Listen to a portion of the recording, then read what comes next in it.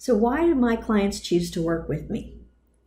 If you've ever had any previous experience with a financial advisor, chances are the conversation revolved around how much money do you have, where is it located, and we can do a better job. It would seem that most investment firms share the same singular focus of trying to find better products that earn a higher rate of return, which often requires you to take more risk.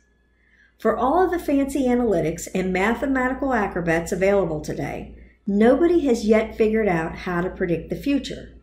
Earning higher rates of returns is certainly not a bad thing and something we can help you with as well. However, we believe we should help our clients avoid money they could be losing unnecessarily before considering options that require more risk. Return is not the only thing to consider when evaluating the efficiency of your own personal economic model. There are three types of money the money used to secure your financial future must somehow come from these three areas.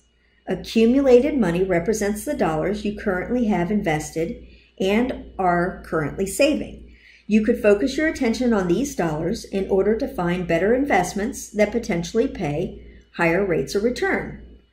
Lifestyle money represents the dollars that you are spending to maintain your current standard of living where you live, what you eat, where you vacation, and things like that. For many people, this is where the conversation ends. Well, everyone wants to solve their financial problems. Reducing their current standard of living is not a popular option. So, what if there was a way to address the issue without having to incur more risk or impact your present lifestyle? Well, I'm really glad you asked. Transferred money represents the dollars you may be transferring away from yourself unknowingly and unnecessarily. These are things like how you pay for your house, what you pay in taxes, how you fund your retirement accounts, non deductible interest you may be paying, how much or how you pay for major capital purchases like cars, education, weddings, and other expenses. There are really only two ways a financial advisor can be of help to you. The first is by finding better products that pay higher rates of return, often requiring more risk.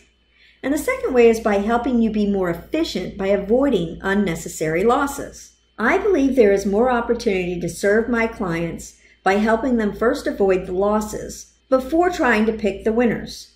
My focus with clients begins with eliminating the involuntary and unnecessary wealth transfers. Consider this there are two ways to fill up a bucket that has holes in it. One way is to pour more in, and the other is to first plug the holes, then the bucket will fill even if there's a trickle. Which strategy more closely resembles the way you are currently approaching your financial management? Don't forget to share this video, like, and subscribe to my channel. And remember, every financial decision you make is either creating an opportunity for you or for others. So ask yourself, will this build my circle of wealth? And then go out and live your best life now.